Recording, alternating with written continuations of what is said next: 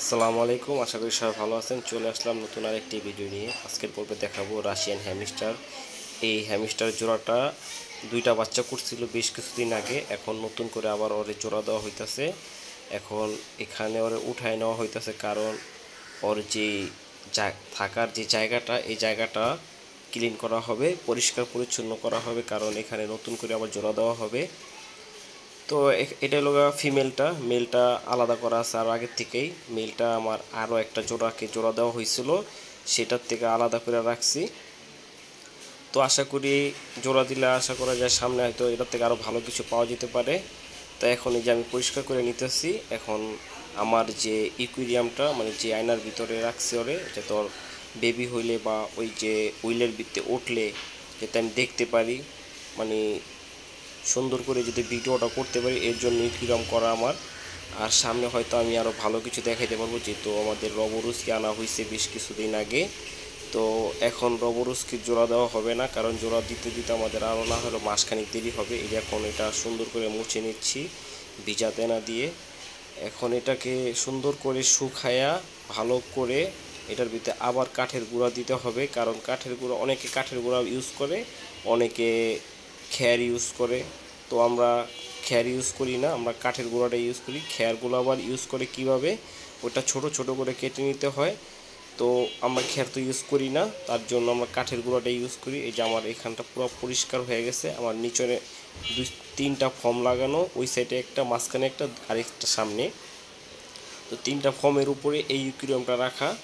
তো এই যে এখন আমি কাঠের গুঁড়া দিয়ে নিতেছি, কারণ যাতে আমার হ্যামিস্টারটা যে যখন জোড়া দিব যাতে পরিষ্কার পরিচ্ছন্ন থাকে, যেহেতু এটা জোড়া দেওয়ার পরে আমি বাসাটা ভাঙ্গি না বা পরিষ্কার করি না, কারণ ওরা যেখানে একবার জোড়া নিয়ে নেয়, ওইখানটায় ওরা থাকতে পছন্দ করে। যদি আমি এটাকে যদি বারবার পরিষ্কার পরিচ্ছন্ন করতে যাই জোড়া দেওয়ার পরে, তো হয়তো দেখা যেতেছে ও নার্ভাস ফিল করব যে ওখানে যদি বেবি হয়ও, বেবি মনে হয় হয়তো ভালো থাকবে না, তো ভয় ভয় পায়।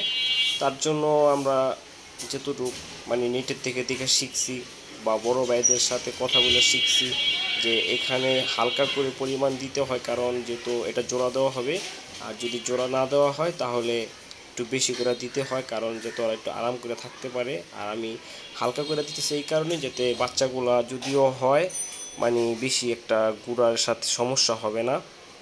যেহেতু প্রথমবার আমি, আমার রাশিয়ান হেমিস্টার যখন ছয়টা বাচ্চা করছিল, তখনকার চারটা বাচ্চাই সকাল উঠা দেখি মারা গেছে। তো এই যে এখন চায়নার থেকে যে উইলটা আনা হয়েছিল, সেই উইলটা দেওয়া হইল আগে।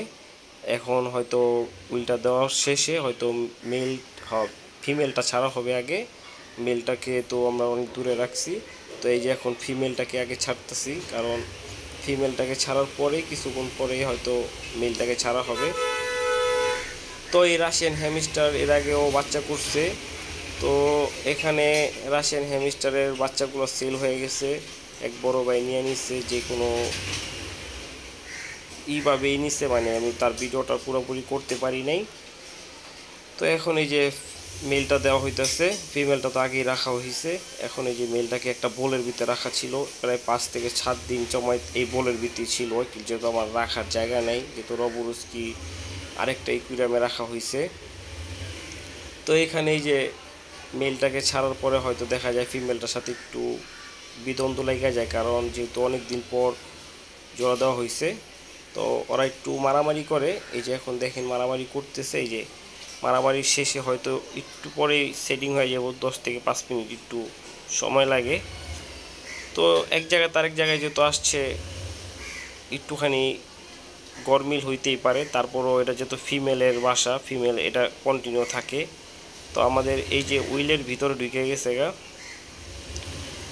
তো এরকম ভিডিও যদি আরও দেখতে চান, অবশ্যই চ্যানেলটা ফলো দিয়ে পাশে থাকবেন। সর্বপ্রথম ইউটিউব পেজে ছাড়া হয়। আর ফেসবুক পেজ থেকে দেখে থাকলে অবশ্যই ফলো দিয়ে লাইক দিয়ে পাশে থাকবেন। আর ইউটিউব পেজ থেকে দেখে থাকলে অবশ্যই সাবস্ক্রাইব করে বেল আইকনটি বাজিয়ে রাখবেন।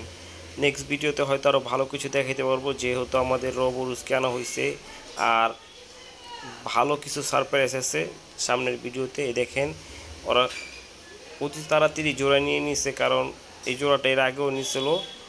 তো বেশি কিছু বলব না, সবাই ভালো থাকেন। আজকের মতো ভিডিও আমি এখানেই শেষ করব। আল্লাহ হাফেজ।